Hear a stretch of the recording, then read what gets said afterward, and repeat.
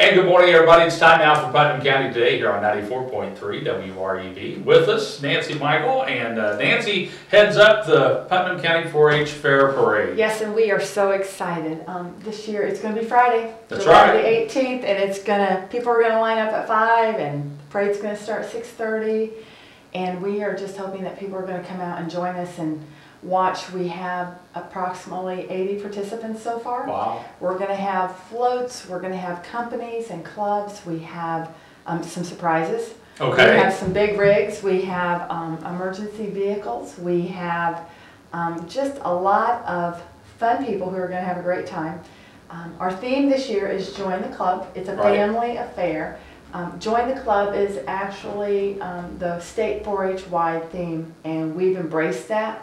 And we've added it's a family affair because the 4-H fair here in Putnam Out truly is a family event. So, Exactly. Anyway, hope you'll be there too. I, we will, and of course, we'll be uh, broadcasting the parade live Good. over the radio. So, um, in fact, Doug Wocon going to be doing kind of the play-by-play. He usually does sports for us, but he's actually working for you guys that night. We are excited about that. Um, one of the highlights of this year's parade is our Grand Marshal, of course. Right. And we are going to be honoring our very own Dorothy and Gerald Edwards, who have headed up the parade committee for 30 years. Right.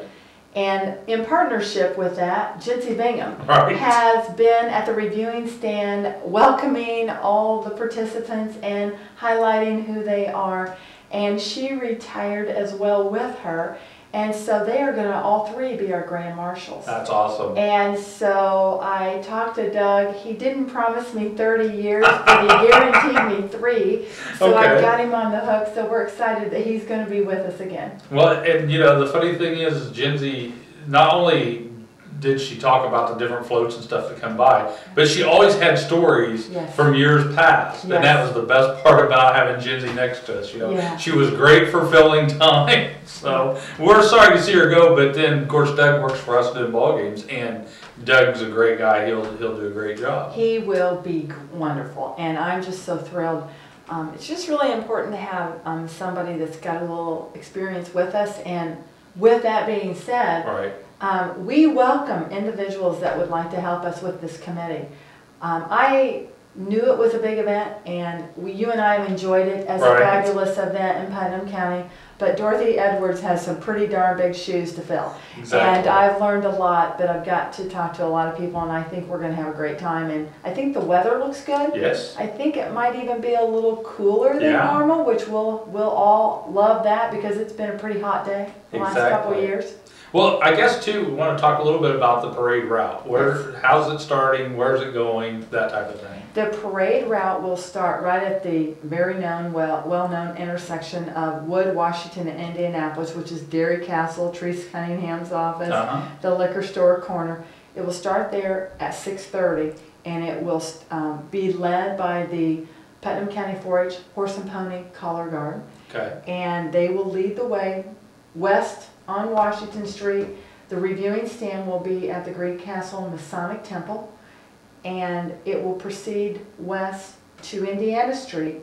And then our participants will either choose to go straight to go to the 4-H Fair Parade, or Fair, I should say, or they will turn right and go north.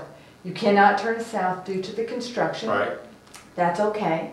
Um, and then people will just go back to their cars or wherever they started to line up. We have um, a couple of lineup areas, and most of our our participants know where that is. Um, we have people that will be lining up at the high school parking lot, which is our primary area. Right. And then we have our Shriners and our tractors that we're gonna put on garden side. We have horses and some walkers in the park. Then we, of course, we have our queen candidates Right. at the Dairy Castle and then our emergency vehicles. And we're, we're excited that we're gonna have the National Guard with us this year. Great. And so they will be starting out at that point area. All right. Well, sounds great. Everything gets underway at six thirty Friday night. Yes, people will start lining up at, we hope that, you know, we know that chairs will be put out that morning Right. about by eight o'clock and people will reserve their spot along the route to cheer on people who are gonna be in it.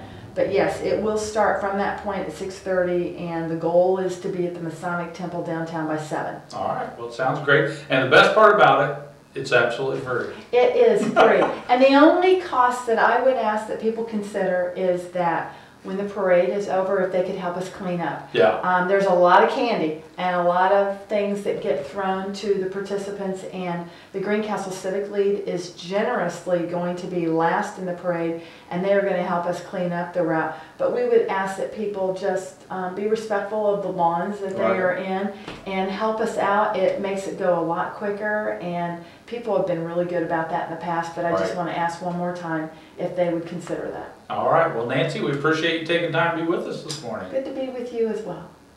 And with us this morning also is Karen Headley. Karen, you're kind of heading up what's called the Parade of Fitness. And I think we want to talk a little bit about that and what people can get involved with it. Okay, well, um, this is our 11th annual Parade of Fitness Run Walk. Um, it's this coming, this Friday, the 18th. It starts at 6 p.m. and uh, it will, takes half an hour approximately to run or walk. It's 1.5 miles. Okay? Um, it starts at the south steps of the courthouse, and we'll go on Washington Street to um, the Dairy Castle intersection, which is Wood Street. Um, they'll turn around, come back to the courthouse, and that's a mile and a half.